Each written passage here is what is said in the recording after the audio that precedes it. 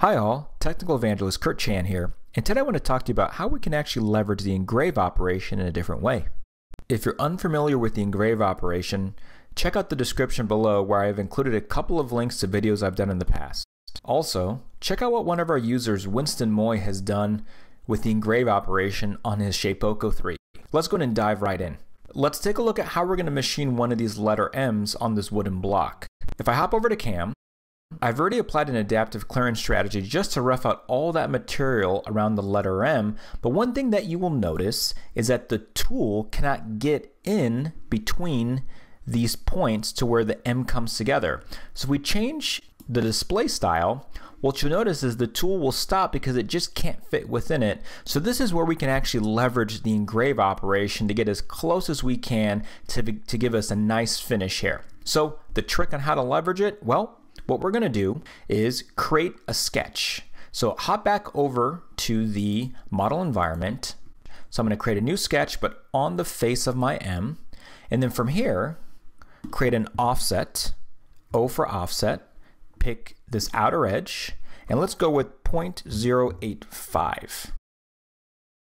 Now, what this will allow us to do is it will keep the chamfer mill we're going to pick for the engrave operation in between these boundaries. So from here, so from here, let's go and exit the sketch. And now hop back over to CAM. Under 2D, let's drop that and pick the engrave operation. I have a pick my chamfer end mill depending on what size you want to use. I have an eighth inch chamfer end mill. And now for geometry, the contours I'm going to select is the outside sketch I just created as well as the outside edge of the letter M. Right click, say OK, apply that toolpath. Command G does a complete rebuild of all your toolpaths. And for demonstration purposes, I like to turn off the sketches. So under the browser, you could turn off the light bulb to turn off the sketches. If you right click on the setup, click simulate, let's take a look at how this is going to look. If I turn on the stock, and now you can actually see the type of finish we're getting. So first it's to come down and rough out all the material around the M.